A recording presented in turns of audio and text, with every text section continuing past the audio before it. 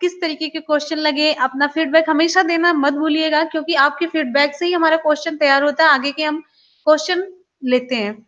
तो क्वेश्चन है, साहित्य में रस का क्या अर्थ है? साहित्य में रस का क्या अर्थ है? ऑप्शन आप सभी के सामने है। जिस तरीके से क्वेश्चन पूछे गए हैं, वही क्वेश्चन हमने लिए हैं। कुछ इसमें साहित्य के भी क्वेश्चन आते हैं। तो साहित्य में रस का क्या अर्थ है? तो ऑप्शन यहाँ पे हमारा कौन सा सही होता है? ओके। आपको ज़्यादा नहीं, लेकिन दो से चार सेकंड का टाइम ज़रूर देंगे। आप लोग कहते हैं बहुत जल्दी करते हैं तो जल्दी बिल्कुल भी नहीं करेंगे। ऑप्शन हमारे यहाँ पे सही होता है डी, साहित्य से मिलने वाली आनंद की अनुभूति। रस का शाब्दिक अर्थ होता है आनंद, ना? तो हिंदी भाषा के किसी कवि को पढ़ने या सुनने से जिस आनंद की प्राप्ति होती है, उसे रस कहते हैं। नेक्स्ट है। दोहा छंद में कितने चरण होते हैं? दोहा छंद में कितने चरण होते हैं? ऑप्शन हमारा कौन सा सही होगा? दो छ तीन, चार। तो यहाँ पे ऑप्शन हमारा सही होता है डी चार। दोहा छंद में चार चरण होते हैं। यह अर्ध सममात्रिक छंद है। ये भी ध्यान दीजिएगा अर्ध सममात्रिक छंद है दोहा। इस छंद के प्रथम और तृतीय चरण में पहले पहले और तीसरे चरण में तेरह तेरह मात्राएँ होती हैं। कितनी होती है? तेरह तेरह मात्राएँ होती हैं। ये भी क्वेश्चन पूछा गया, कैसा अर्ध सममात्रिक छंद? ये क्वेश्चन भी पूछा गया है। यहाँ पे एक क्वेश्चन आपका ये मिला, दूसरा ये मिला, तीसरा आपका ये मिल रहा है कि पहले और तीसरे चरण में कितनी मात्राएँ होती तेरह तेरह मात्राएँ होती हैं और दूसरे और चौथे चरण में कितनी होती है? ग्यारह ग्यारह तो चार, इस तरीके से आपके चार क्वेश्चन तैयार हो गए। ठीक? अब नेक्स्ट क्वेश्चन भाषा में शब्द और अर्थ की दृष्टि से सौंदर्य उत्पन्न करते हैं। कौन? रस, अलंकार, गुण या छंद? ऑप्शन। फ्रेंड्स, आप सभी लोग ना वेल आइकन को ज़रूर प्रेस कीजिएगा, जो इस तरीके का वेल आइकन बना होता है। आप लोग कहते हैं ना नोटिफिकेशन नहीं आता है तो नोटिफिकेशन वेल आइकन प्रेस करने के बाद जितने भी हम, जो कुछ भी एक्टिविटी चैनल पे करेंगे, सभी आप तक पहुंचेगा। तो जो लाल बटन आप लोग प्रेस कर लेते हैं तो साथ साथ में इस वेल आइकन को भी प्रेस कीजिएगा, तभी सारा नोटिफिकेशन आता है। और तो कुछ नेटवर्क प्रॉब्लम भी होती है तो यहाँ पे ऑप्शन हमारा सही होगा बी अलंकार। भाषा में शब्द और अर्थ की दृष्टि से सौंदर्य उत्पन्न करने करने वाले को क्या कहते हैं? अलंकार। मेनली ये डेफिनेशन से ही क्वेश्चन ले लिया गया है। यानी कि जो किसी वस्तु को अलंकृत करे, उसे अलंकार कहते हैं। और अलंकार के मुख्यतः कितने भेद होते हैं? कई, दो भी है, तीन भी है। मेनली हम अगर लेके चले तो देखिए शब्द अलंकार अर्थ अलंकार और उभय अलंकार भी लिया जाता है। नेक्स्ट है या रा किस प्रकार के व्यंजन है? मोस्ट इंपॉर्टेंट क्वेश्चन खूब पूछा जाता है। किस प्रकार के व्यंजन है? आप लोग स्क्रीन पे बहुत ही क्लियर सा दिख रहा होगा, एक एक ही क्वेश्चन साफ़ सुथरा। तो ऑप्शन हमारा कौन सा सही होता है? वेरी गुड ऑप्शन हमारे यहाँ पे सही होता है, अंतस। ठीक है? हिंदी में व्यंजन वर्णों की संख्या कितनी है? तैतीस। अभी पिछले वीडियो में हमने आपको बताया था। तैतीस है और या रा ला व अंतस्थ व्यंजन है। और उस व्यंजन कौन कौन से हैं? ये भी क्वेश्चन पूछा गया श, ख श, ख, स हाँ। ये कौन से व्यंजन है? उस व्यंजन है। स्पर्श व्यंजन का से मातक होते हैं। ठीक है? और आयोगवाह में अंग और आ। इसमें बहुत सारे क्वेश्चन आपके तैयार हो गए। इस क्वेश्चन से जितना भी हम एक्स्ट्रा पॉइंट बता रहे हैं, इससे आपके सारे क्वेश्चन तैयार हो रहे हैं। नेक्स्ट है। निम्नलिखित में से कौन सा शब्द स्त्रीलिंग है? निम्न में से कौन सा शब्द स्त्रीलिंग है?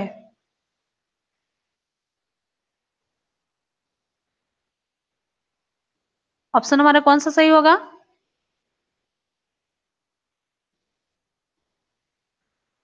आप लोग को मेरी आवाज़ सुनाई दे रही है? तो आप लोग जल्दी जल्दी से रिप्लाई करिए।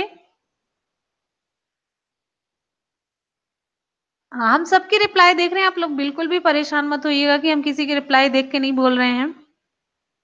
तो ऑप्शन हमारे यहाँ पे सही होता है ए ठीक है? कृपा। नेक्स्ट है। वचन किसका बोध कराता है? वचन किसका बोध कराता है? विकल्प आराम से पढ़ लीजिए आप लोग।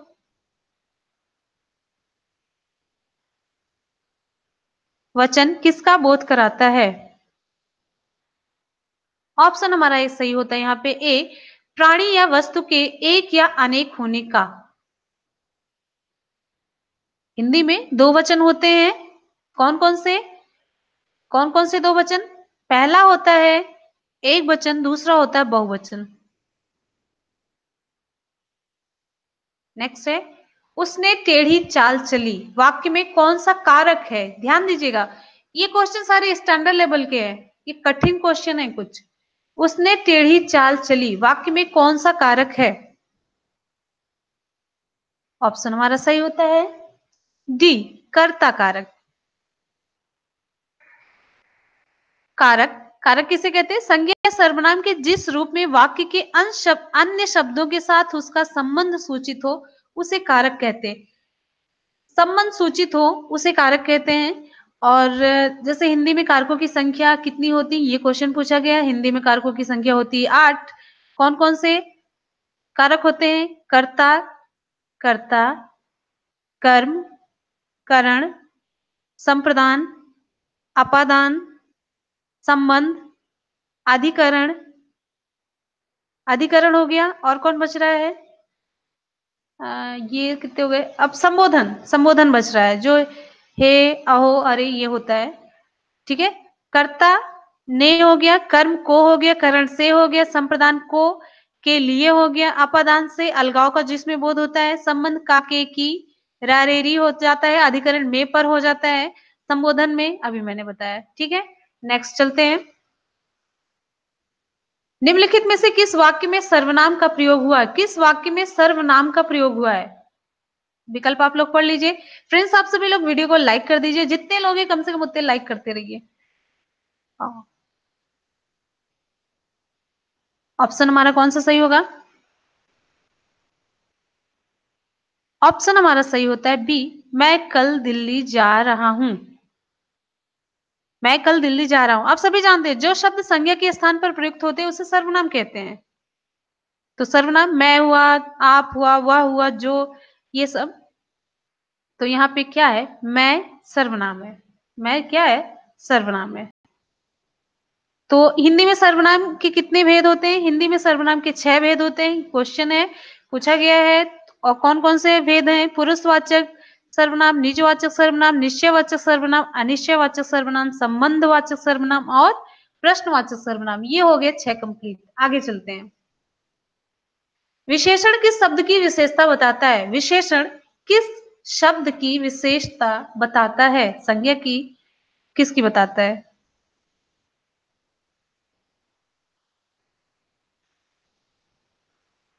ऑप्शन हमारा सही होता है ए, संज्ञा की। संज्ञा सर्वनाम की विशेषता जो बताते हैं, उसे क्या कहते हैं? विशेषण कहते हैं। नेक्स्ट है। कर्म के आधार पर क्रिया के कितने भेद होते हैं? कर्म के आधार पर क्रिया के कितने भेद होते हैं? ऑप्शन यहाँ पे हमारा सही होता है डी दो भेद होते हैं। पहला, कौन सा? सकर्मक। सकर्मक हो गया दूसरा, अकर्मक। ठीक है?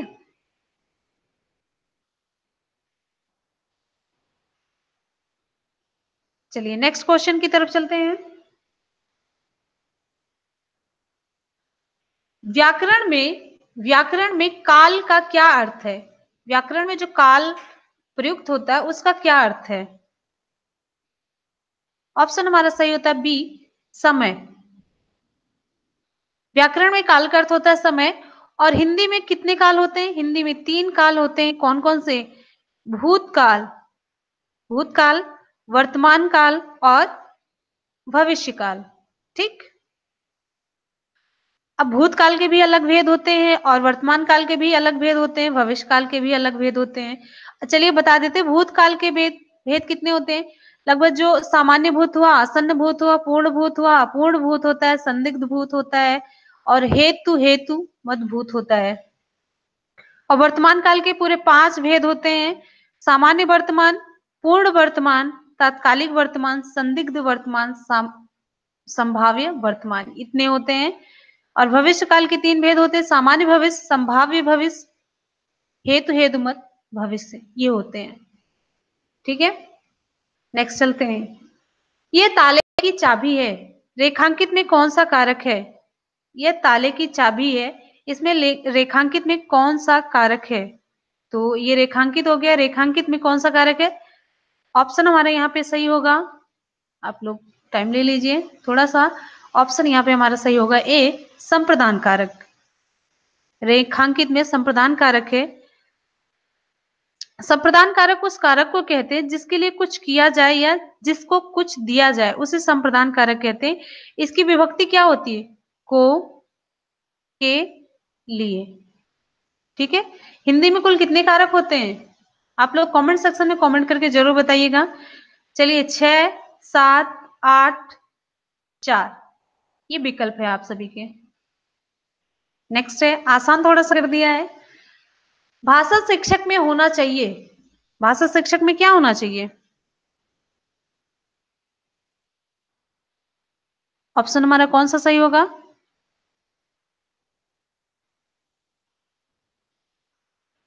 आप लोग ऑप्शन बताइए। भाषा शिक्षक में,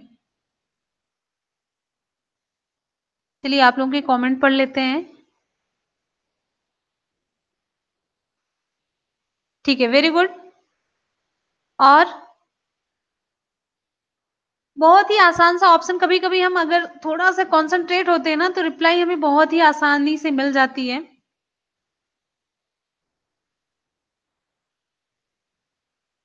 सॉरी आवश्यक नहीं है, पहली बात पूछा जा रहा है ऑप्शन हमारा सही होता है डी रसायन, रसायनों का ज्ञान होना, ठीक है? आगे चलते हैं। बहुत ही आसान सा क्वेश्चन था। गद्य शिक्षण में कठिनाइयों का निवारण किया जा सकता है। कैसे? गद्य शिक्षण में कठिनाइयों का निवारण किया जा सकता है। कैसे? ऑप्शन हमारा सही होगा डी ये सभी। इन सभी के माध्यम से गद्य शिक्षण में कठिनाइयों का निवारण किया जा सकता है। नेक्स्ट है। प्राथमिक स्तर पर कविता शिक्षण उपयोगी नहीं होगा। जिस तरीके से आपके यूपी टेट में क्वेश्चन पूछे जाते हैं सेम वैसे ही हमने यहाँ पे पूरे क्वेश्चन लिए। आप कह सकते हैं कि मॉडल पेपर ये मॉडल पेपर आप बता सकते हैं कि इसे मॉडल ये मॉडल पेपर है। इसी तरीके से क्वेश्चन पूछा जाएगा। यहाँ पे पेडागोजी से क्वेश्चन कम आता है। कभी कभी दो आ जाता है कभी कभी तो मतलब समझ लीजिए, ना के बराबर ही कह सकते हैं, लेकिन इतना मान के चल सकते हैं कि पाँच क्वेश्चन पाँच से ज़्यादा कभी आता ही नहीं है। तो यहाँ पे देखिए, प्राथमिक स्तर पर कविता शिक्षण उपयोगी नहीं होगा। ऑप्शन हमारा कौन सा सही होगा? ऑप्शन सही होगा सी जो कविता अंतरराष्ट्रीय वादों से संबंधित हो। ठीक? नेक्स्ट क्वेश्चन की तरफ़ चलते हैं। हिंदी भाषा और साहित्य नामक ग्रंथ के लेखक हैं। हिंदी भाषा और साहित्य नामक ग्रंथ के लेखक कौन है? ऑप्शन हमारा कौन सा सही होगा? ऑप्शन हमारा सही होता है सी डॉक्टर श्याम सुंदर दास। नेक्स्ट क्वेश्चन की तरफ़ चलते हैं। भाषा सिखाने का सही क्रम क्या है? भाषा सिखाने का सही क्रम क्या है? मोस्ट इंपॉर्टेंट क्वेश्चन है। ऑप्शन हमारा सही होगा। बी, सुनना, श्रवण करना, बोलना, पढ़ना, लिखना। हिंदी में हम कह देते हैं सुबोपल। तो सु से सुनना हो गया, श्रवण करना, वो से बोलना, प से पढ़ना, फिर लिखना। ठीक है? सुबोपल। तो नेक्स्ट क्वेश्चन की तरफ़ चलते हैं। निम्नलिखित में से कौन सा शब्द तत्सम शब्द नहीं है? निम्नलिखित में से कौन सा शब्द तत्सम शब्द नहीं है? ऑप्शन हमारा कौन सा सही होगा? शोक, पृथ्वी, चंद्र परक तो यहाँ पे हमारा ऑप्शन सही होता है डी परक जो है, तत्सम शब्द नहीं है। ठीक है?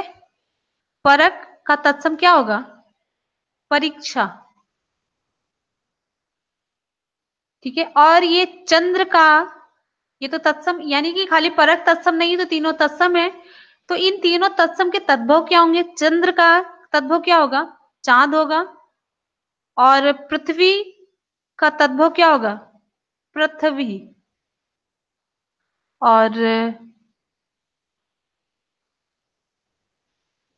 हाँ पृथ्वी ऐसे ही लिखा जाएगा। पृथ्वी, इस तरीके से। ठीक है? ये हो गया। चलिए आगे चलते हैं।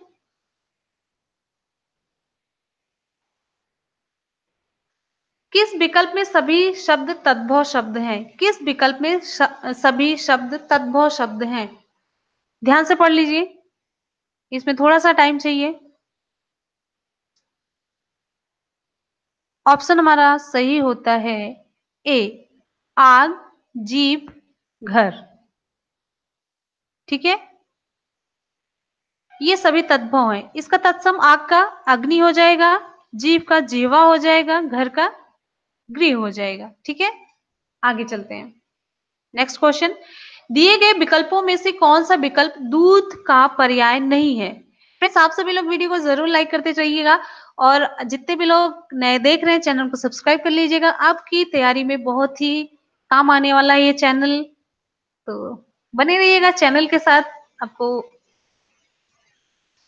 बहुत आसानी होगी एग्ज़ाम क्वालिफाई करने में। तो ऑप्शन हमारा कौन सा सही होगा? ऑप्शन हमारा सही होता है डी अमी अमी दूध का पर्याय नहीं है। किसका है? अमृत का। अमृत के और पर्यायवाची कौन कौन से हैं? पूछा जाता है। पीयूष हुआ। पीयूष भी पूछा जाता है।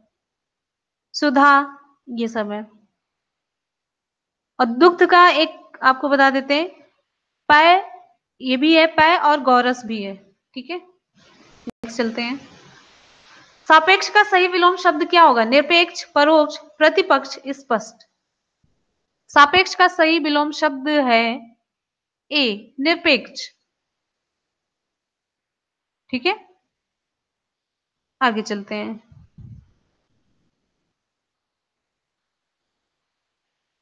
अंक शब्द के अनेकार्थी शब्द समूह का चयन कीजिए। अंक। ध्यान से क्वेश्चन पढ़िए। अंक शब्द के अनेकार्थी शब्द समूह का चयन कीजिए।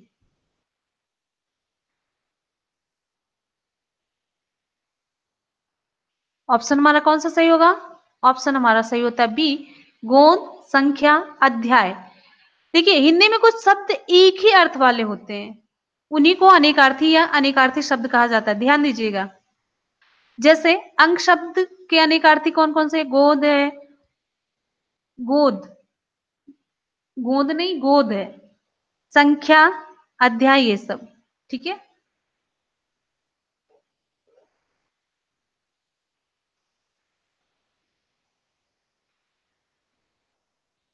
अपराध बोध होने से होने वाली ग्लानी वाक्यांश के लिए एक शब्द लिखिए।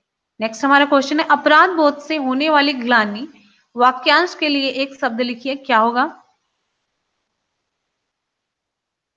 अपराध बोध से होने वाली ग्लानी। ऑप्शन हमारा सही होता है यहाँ पे डी पश्चाताप। वाक्यांश वाक्यांश में लिए होता है जो बहुत ही बड़ी चढ़ी यानी कि बहुत ज़्यादा वाली बात को, विस्तृत बात को संक्षेप में कहना वाक्यांश के लिए एक शब्द कहलाता है। इसमें पश्चाताप होगा। अच्छा आत्मग्लानी कुछ कुछ दिमाग में आ रहा होगा तो आत्मग्लानी में लिए होता है जब अपने आप में खेद होना, अपने आप में खेद होने के लिए आत्मग्लानी का प्रयोग होगा। नेक्स्ट है, चिर। चिर चीर के अर्थ के लिए सही विकल्प का चयन कीजिए। इसका अर्थ कौन कौन होगा? मतलब विकल्प में से चीर का कौन सा अर्थ होगा, चीर का कौन अर्थ होगा और दोनों सही हो, वो विकल्प कौन सा होगा? ऑप्शन हमारा सही होता है डी, पुराना। चिर मतलब पुराना, चीर मतलब वस्त्र। ठीक है? ऐसे शब्द होते हैं जो कभी कभी इनका उच्चारण मात्रा या वर्ड लगभग मतलब कुछ चीज़ें होती जैसे इसमें जो उच्चारण होता है, वो लगभग समान होता है। लेकिन उसमें मात्रा वगैरह गलत होती है। गलत कहने का मतलब अलग अलग होती है, लेकिन उच्चारण लगभग समान होता है। लेकिन अर्थ में भिन्नता होती है। जैसे चिर और चीर का अर्थ पुराना यहाँ पे हो जाएगा। चिर का मतलब पुराना चीर का मतलब होता है वस्त्र। हाँ सबका सही है लगभग। रंगीला शब्द में किस प्रत्यय का प्रयोग हुआ है? रंगीला शब्द में किस प्रत्यय का प्रयोग हुआ है?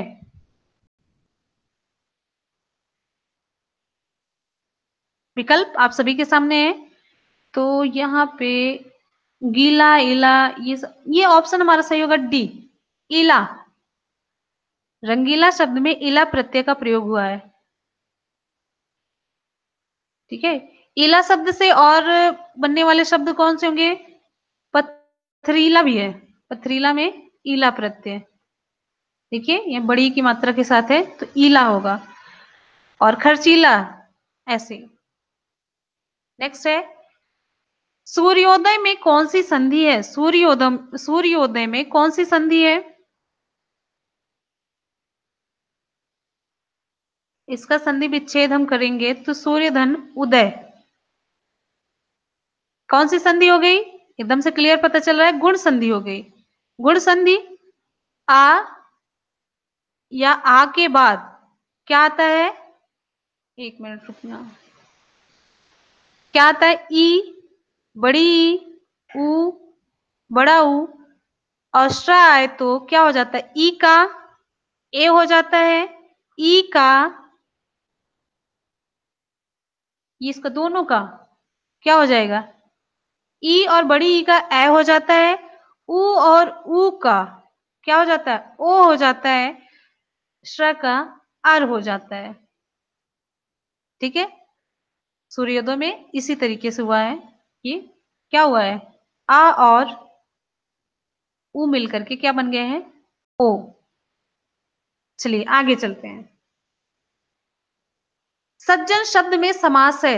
सज्जन शब्द में समास है। कौन सा समास होगा सज्जन में? ऑप्शन हमारा सही होता है ए, कर्मधारय समास। ठीक है? नेक्स्ट है। कर्मधारय समास में विशेषण, विशेष या उपमेय, उपमान का संबंध होता है, ना?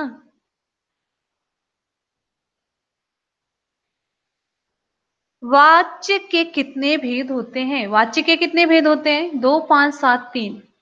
ऑप्शन हमारा कौन सा सही होगा? ऑप्शन हमारा सही होता है यहाँ पे डी तीन सही।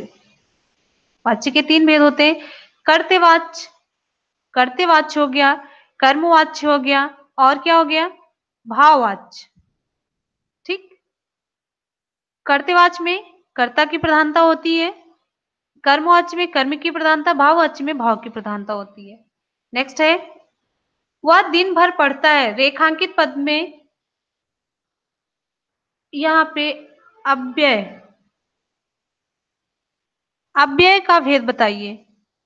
अब यहाँ पे रेखांकित क्या है? दिन भर है। ठीक है? ऑप्शन यहाँ पे हमारा सही होता है बी निपात। अब यहाँ पे बताते हैं, वह दिन भर पढ़ता रहता है, वह दिन भर पढ़ता रहता है, वाक्य में दिन भर क्या है? निपात निपात का अर्थ होता, निपात का अर्थ अनेक होता है। ठीक है? इसीलिए ये क्या निपात कहे जाते हैं। निपात का कोई लिंग वचन नहीं होता है। मेनली इसका प्रयोग अव्ययों के लिए होता है, अव्यय के लिए ही होता है। इसीलिए ऑप्शन हमारे यहाँ पे सही होता है बी नेक्स्ट क्वेश्चन की तरफ़ चलते हैं। कोष्टक में दिए गए विराम चिन्ह का नाम है। कोष्टक में दिए गए विराम चिन्ह का नाम क्या है? प्रश्नवाचक कल विराम, पूर्ण विराम विस्मयादि बोधक विस्मय बोधक तो ऑप्शन हमारा सही होगा डी आप सभी को पता है विस्मय बोधक ठीक है? अब पूर्ण विराम इस तरीके से लगता है। अल्प विराम ऐसे होता है, कॉमा, योजक चिन्ह डैश प्रश्नवाचक ऐसे होता है, उद्धरण चिन्ह ऐसे इन्वर्टेड कॉमा में। ठीक है? तो चलिए नेक्स्ट क्वेश्चन की तरफ़ चलते हैं। बाल की खाल निकाला, मुहावरे का अर्थ है। बाल की खाल निकालना, मुहावरे का अर्थ है। क्या अर्थ होगा? ऑप्शन हमारा सही होता है सी बहुत मीन मेक निकालना। ठीक है? नेक्स्ट है। चार दिन की चांदनी, फिर अंधेरी रात। लोकोक्ति का क्या अर्थ है? ऑप्शन हमारा सही होता है ए, थोड़े दिन का सुख। ठीक है? जब कोई कथन किसी प्रसंग विशेष में उद्धृत किया जाता है तो उसे लोकोक्ति कहते हैं।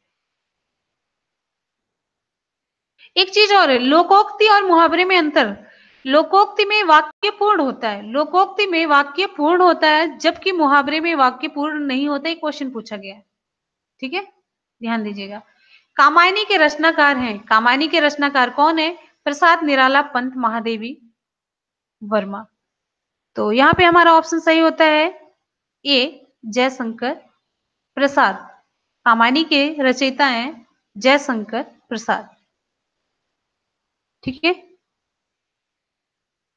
नेक्स्ट है।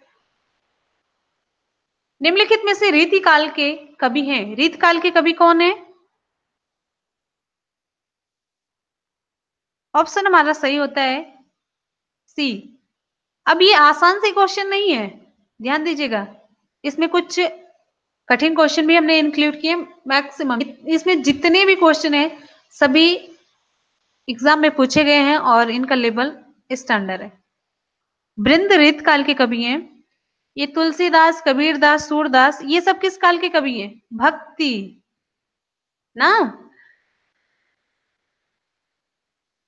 चलिए इन जो वृंद है, उनकी जो दोहे हैं, वो बहुत फ़ेमस है। इनकी कुछ कृतियाँ हैं। वृंद सत्सई।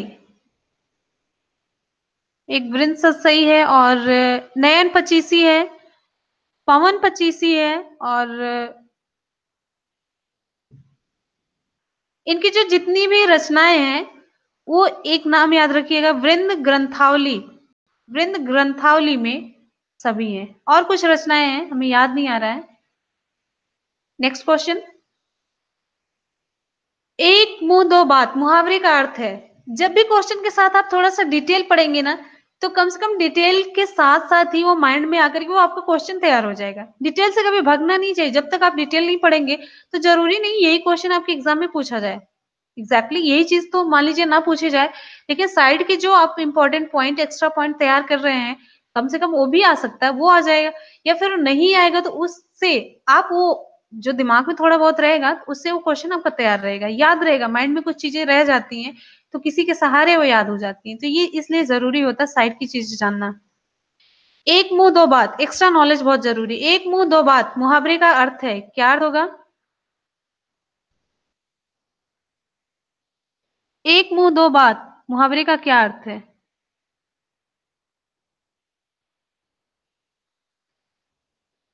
ऑप्शन आप सभी के सामने है।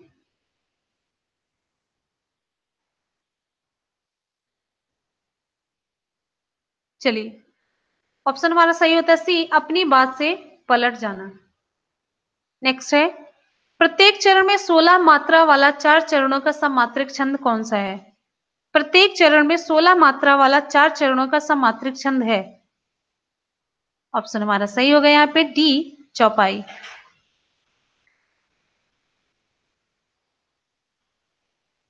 आगे, अदरों में राग अमंद पिए, अलकों में मलयज बंद किए, तू अब तक सोई है आली, आँखों में भरे बिहागरी। पंक्ति में कौन सा रस है? पंक्ति में कौन सा रस है? ऑप्शन आप सभी के सामने है।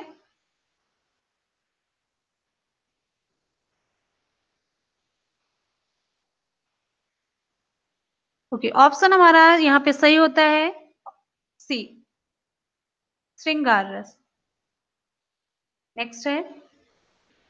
अंधा कुआ नाटक के लेखक हैं। अंधा अंधा कुआ नाटक के लेखक हैं। कौन है? ऑप्शन हमारा यहाँ पे सही होता है डी लक्ष्मी नारायण लाल। फ्रेंड्स यहाँ पे क्वेश्चन होते हैं कंप्लीट आपको कैसे लगे? अपना फीडबैक ज़रूर दीजिएगा। किस तरीके के क्वेश्चन आपको चाहिए वो भी बताइएगा। और हमेशा की तरह आप लोग अपना फीडबैक और जितने भी हम कम से कम आंसर पूछे, अगर आप लोग सच में क्विज अच्छे से अटेम्प्ट करते तो आप लोग रिप्लाई ज़रूर कर पाएँगे और हमेशा आप लोग रिप्लाई ज़रूर किया करिए। तो आज के सवाल की तरफ़ आ जाते हैं। आज का सवाल।